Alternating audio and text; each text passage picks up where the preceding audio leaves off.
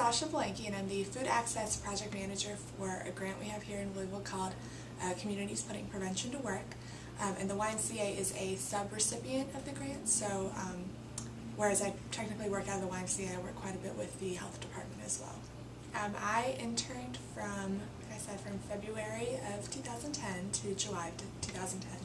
Um, and basically, I started, I graduated from college in 2009. I was the first uh, college class to graduate after the Great Recession. And so, like so many of my fellow peers, we were all looking for jobs.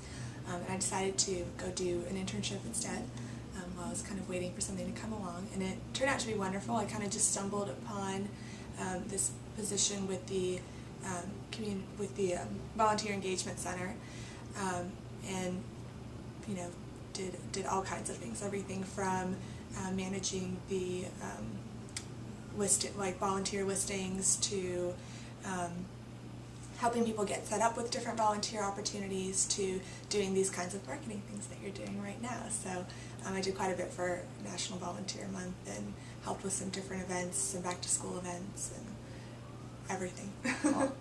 with the United Way since um, August of last year till January and basically I did some advertising for us and I did a Halloween special we were making cards, sending out to our donors.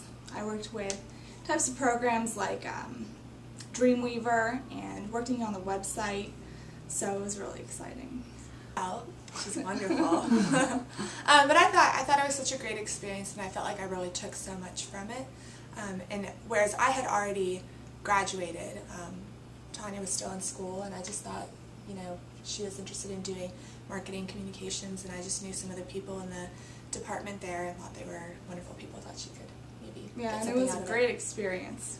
Um, I was working here, and I think it was sometime mid-September. I got a list of companies that we help, and I saw on there that it was the Jewish Federation, and actually we're immigrants. Yeah.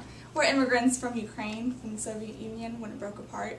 And when we came to the United States, um, I found out that uh, the Jewish Federation actually sponsored us and United Way actually sponsors the Jewish Federation.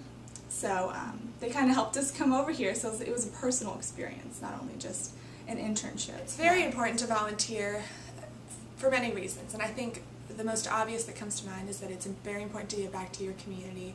Um, but really, I mean, there are also selfish reasons to volunteer. A lot of people don't realize this. You can personally take a lot from volunteering yourself, and you know, it's true what they say that sometimes you take more from it than you even get. Um, you know, I've, we got valuable work skills, and you know, um, my boss here at United Way actually connected me to the job that I have now. Not to mention the fact that I felt like I was doing something good and I felt like I was doing something useful in my community. And I also learned a lot about my community because United Way is so interconnected throughout all of Louisville. Um, I went to college outside of Louisville and so I really missed out on those. You know, I felt like I went to college in Nashville, so I felt like I knew Nashville very well because I did a lot of volunteer work and I got to know that community very well.